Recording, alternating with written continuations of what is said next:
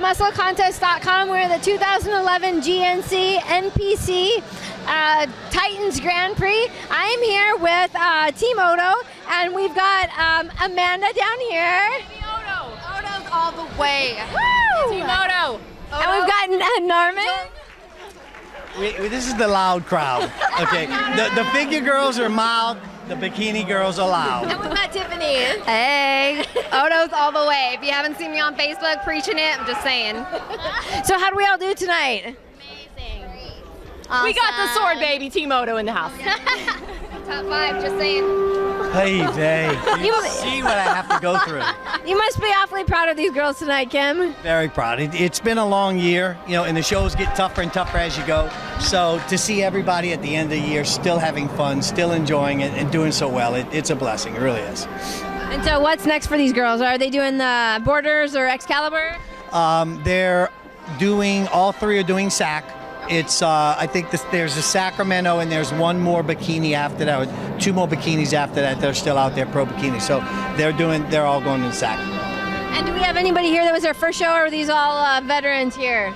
Uh, it was Narmin's first pro show, Okay. and uh, it was Tiffany's Third pro show. Okay. Amanda's- This is her first show too. And she got the sword. Yeah, No, Amanda's the veteran of this group. She's literally, if she took her heels off, this would be as big as her. We got to do a height comparison there. I told, I told Mr. Jon Lindsay, I love coming to these venues, but I have to now drive from Vegas to here because I have to check it in from the airport, and they they, they, they don't let me fly because they're- they think I'm trying to hijack the plane. So I now drive, just in case we take home the sword. And we did.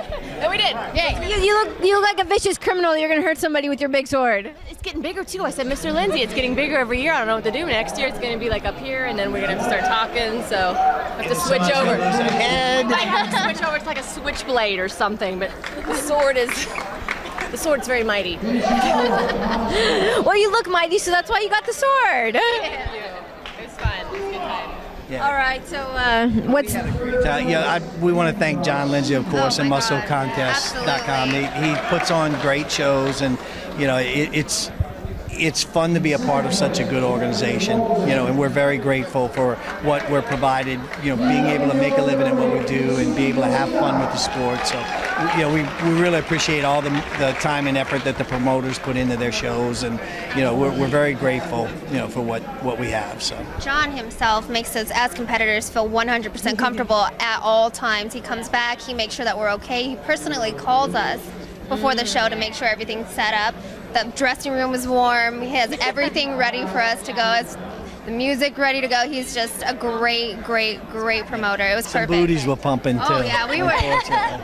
Sorry. Kim goes, I don't know what was that, but you guys were on it. it makes it a lot of fun for you guys when you when you're so, so taken care of so well backstage. It's like like you said, it's like, Like a I party said, back there.